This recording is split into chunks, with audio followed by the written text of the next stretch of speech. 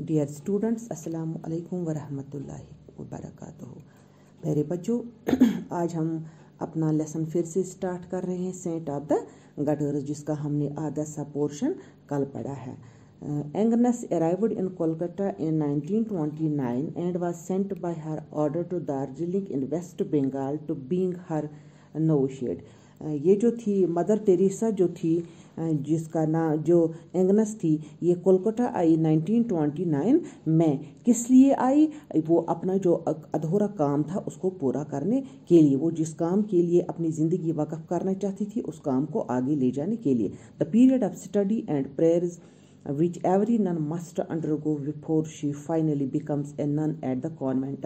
वो period study of period वो अपना जो पढ़ाई का काम उसका चल रहा था, कौन सी पढ़ाई वो कर रही थी, वो पढ़ाई कर रही थी, सोफ़ी की पढ़ाई। गरीबों को कैसे पाला जाता है, गरीबों के साथ कैसा रहा जाता है, गरीबों को कैसे, गरीबों की कैसे मदद की जाती है, वो यही सब कुछ वो सोफ़ी संत पढ़ रही थी। Apart from prayer she spend her time here in learning Hindi and Bengali वो ये जो काम कर रही थी, उसने जितना भी टाइम स्पेंड किया कोलकाता में, इस टाइम इसने हिंदी भी सीखी और बंगाली लैंग्वेज भी सीखी so that she could speak to the people whom she had come to serve उसने ये ज़बान इसलिए सीखी ताकि वो उन लोगों से बात कर से सके जिन लोगों की वो खिदमत करना चाहती थी। Then she began to teach in school run by the sisters of Loreto तभी वो उस स्कूल में काम कर सकती थी। तभी वो मशीनरी स्कूल में काम कर सकती, उस मशीनरी स्कूल में जिसमें उस, जिसमें वो काम करना चाहती थी। तभी ये मुमकिन होता, हो पाया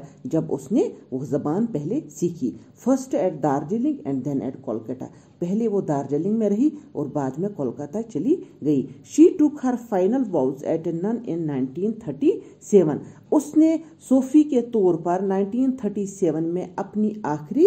अपना आखिरी काम कर लिया या अपनी आखिरी कसम ले ली।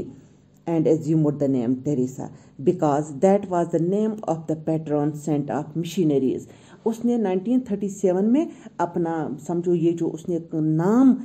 जो उसने नाम अख्तियार किया, न मदर, ये टेरेसा का नाम उसने अख्तियार किया, उसने 1937 में कसम खाई और टेरेसा का नाम उसने अख्तियार किया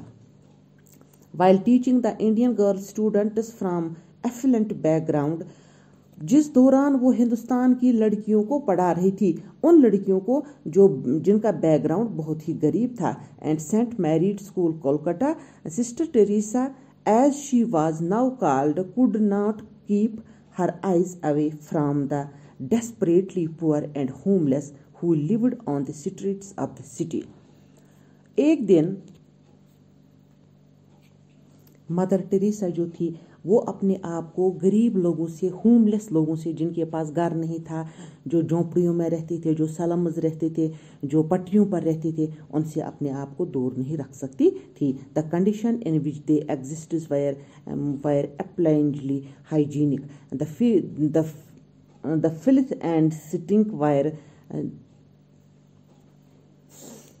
the condition in which they exist were appallingly hygienic mother Teresa को ये लगा कि गरीब लोग जहाँ रह रहे हैं, वहाँ अनहाइजीनिक रहन सहन अनहाइजीनिक खाना पीना है इन गरीबों को, तभी इनकी हालत इतनी बुरी है। द फिलिट एंड सिटिंग यह एक्सट्रीम डर्ट है। यहाँ बहुत ज़्यादा बदबू है। Were no sitting and it was no wonder that they suffered from all kind of diseases mother Teresa को लगा कि यहाँ जो एक्सट्रीम डर्ट है, यहाँ जो एक्सट्रीम गंदी बदबू है, इस वजह से ही ये लोग ज़्यादा बीमार हो रहे हैं। Sister Teresa could see that the hospitals and other civic amenities were structured to the limit in the streaming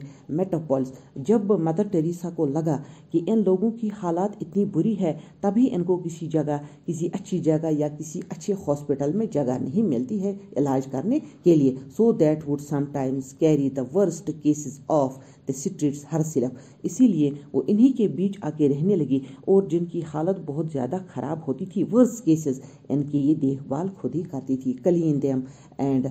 clean them up and look after them till they recovered और डाइड वो तब तक उनकी खिदमत करती थी, उनको साफ़ करती थी, उनको नहाती थी, जब तक ना वो ठीक होते थे, जा, या जब तक ना वो मर जाते थे। She could not bear to see anyone die without the dignity that every death deserve वो तब तक, वो शी कुड नॉट बियर वो ये नहीं देख सकती थी कि कोई इंसान बगैर केयर किए हुए मर रहा है, या कोई इंसान बेमौत मर रहा है। ये मदर टेरेसा देख नहीं सकती थी। वन डे इन 1946 एक दिन 1946 में when she was travelling in a train from Kolkata to Darjeeling एक बार जब वो 1946 में कलकत्ता से दार्जिलिंग जा रही थी she again heard a voice उसको वो आवाज़ फिर से सुनाई दी, जो आवाज़ उसने एक बार पहाड़ों पर जाते हुए सुनी थी. Like the like the one she had heard before जो आवाज़ उसने पहले भी सुनी थी telling her that now she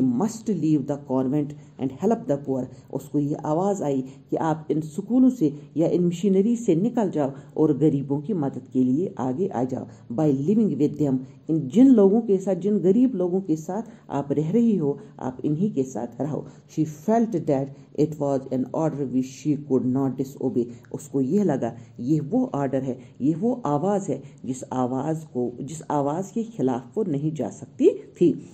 And to fight her words to fail would be to break faith this was the final turning point that gave birth to the mother Teresa we all know about यही वो वक्त था, यही वो जगह थी जिस जगह मदर टेरेसा को सारे लोग जानने लगे। थैंक्स